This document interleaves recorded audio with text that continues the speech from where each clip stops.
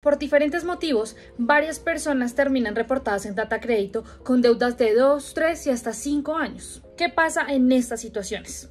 Es importante entender que cuando una deuda deja de ser saldada durante varios años, es necesario comprender qué significa la prescripción de una deuda.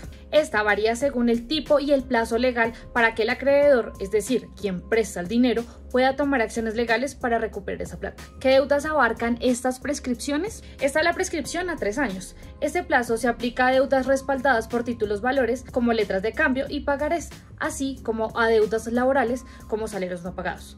Es importante destacar que existen fórmulas legales para evitar que estas deudas prescriban. Está la prescripción a 5 años. Son las deudas relacionadas a contratos de arrendamiento, promesas de compraventa, conciliaciones y otras obligaciones similares. Este plazo también se aplica a las deudas fiscales, incluyendo aquellas relacionadas con los impuestos. Por lo tanto, si su deuda ya tiene más de 5 años, usted puede solicitar la prescripción. Ahora bien, esta seguirá en su historial crediticio, afectándolo a usted de forma negativa. Si usted está pensando, por ejemplo, en solicitar un crédito de libre inversión, seguramente tendrá problemas para que se lo aprueben. Evite dolores de cabeza. Conozca más de este tipo de deudas en las redes sociales del tiempo y en el portal de eltiempo.com.